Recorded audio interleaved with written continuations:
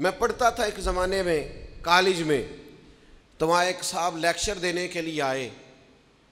तो उन्होंने गुफ्तगु करते करते कहा कि काफिर साजिश करके हमारी नस्ल को ख़राब कर रहे हैं। उन्होंने हमारे बच्चों को फलां फलां फलां फलां चीज़ों पे लगा दिया है। काफिर साजिश करके हमारे बच्चे ख़राब कर रहे हैं। तो थोड़ी सी तबीयत इस तरह की थी कि बात वो किसी वक्त बर्दाश्त नहीं होती थी तो मैंने बड़ी माजरत से उंगली खड़ी की। मैंने कहा, अगर खूगरे हमद से थोड़ा सा गिला भी सुन ले, अगर गुस्ताखी ना समझी दाए तो एक जुमला कहने की इजाज़त हो। उन्होंने कहा, बेटा, कहिए। तो मैंने उठ के कहा, हज़रत, काफिर तो बड़ी देर से साजिशें करके हमारी नस्ल को ख़राब कर रहे हैं। हम तबलीग करके उनकी नस्ल को मुसलमान ना कर दें।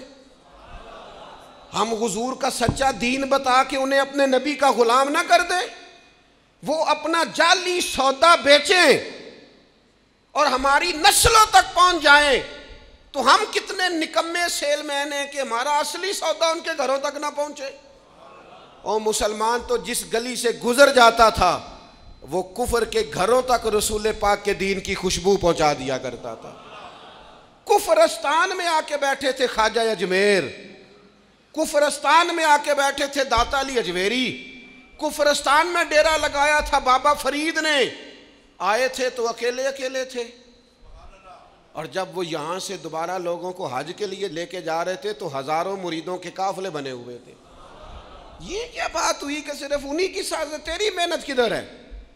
तू सुबह से शाम तक जो तबलीग करता है, वो किस पर हो रही है? तू पैगाम दीन किसको दे रहा है? तूने कितनों को सबक दिया और सबक पढ़ाया? जान छुड़ाने वाली बात है, वो साजिश कर रहे हैं। छह माना दार